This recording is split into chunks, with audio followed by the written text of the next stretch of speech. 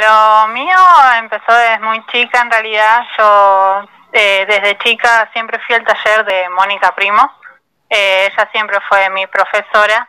Eh, y bueno, y retomé de grande, a los, habrá sido a los 16 años creo que retomé con el taller y bueno, desde ahí no, no paré nunca. Siempre me incliné por, por eso, por el deporte o por hockey, digo, perdón, por eh, el arte. Y entonces lo, ella, me, Mónica, siempre me incentivó también por el lado del arte, obviamente.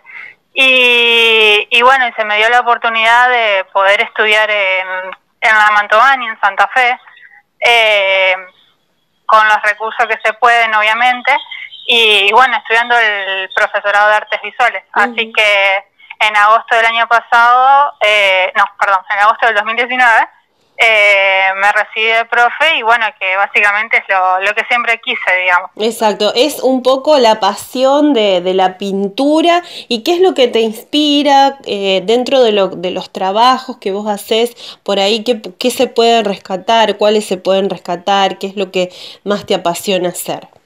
A mí toda la vida me gustó lo que es pintar cuadros, pero eh, como pinto de chica eso ya mi casa está llena de cuadros y toda mi familia tiene cuadros, entonces tengo que buscar otra alternativa.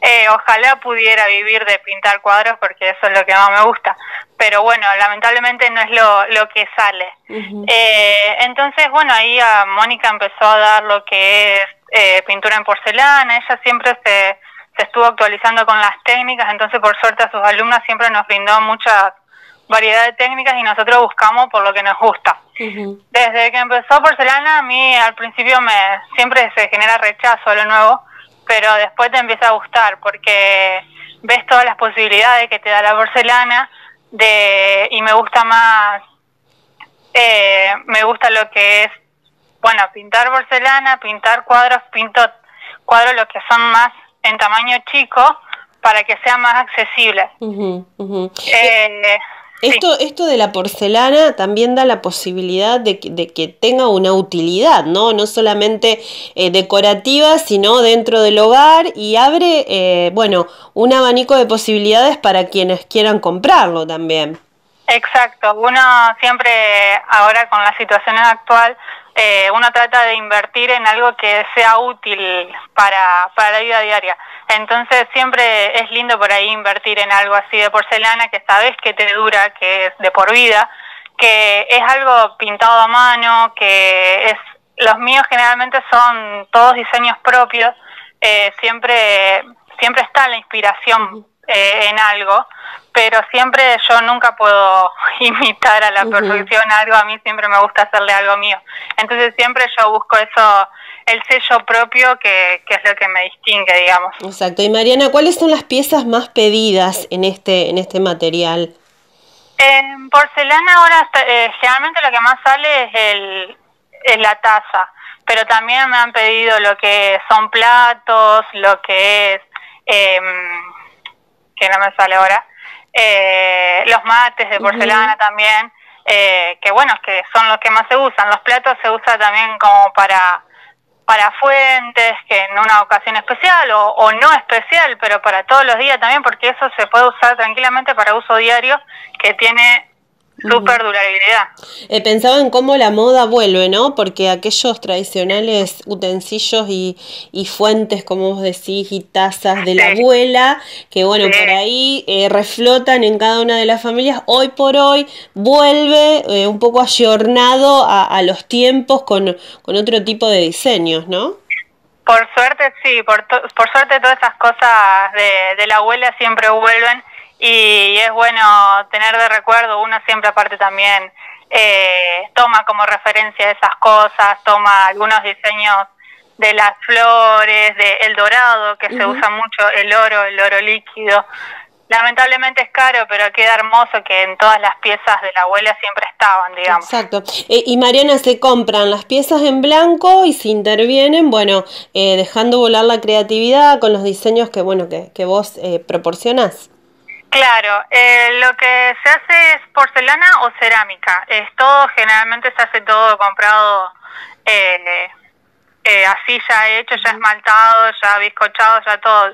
Yo tengo la capacitación como para hacer la pieza de cero, pero lamentablemente no tengo el tiempo ni tampoco todas las herramientas como para hacerlo, porque eh, eh, lleva un proceso bastante largo. Entonces uno compra ya la pieza ya hecha, que se puede conseguir en cualquier bazar, es cerámica esmaltada o porcelana. Eh, eso que resiste alta temperatura, se puede utilizar en el horno, en el lavavajillas, eh, es súper resistente y bueno, y si uno le interviene como quiere. Uno si quiere algo personalizado, se intenta hacer lo que mejor se puede, eh, el diseño que uno quiere, eh, es bastante libre por suerte. ¿Y con qué sello eh, personal salen, bueno, estas creaciones? ¿Cómo qué sello personal? No, con tu nombre, ¿tienen alguna marca en particular? Ah, no, mi página básicamente yo soy muy poco original con mis nombres, siempre me, me costó, es, es Marian Colusi nada más, que Marian todo, siempre me llamaron así.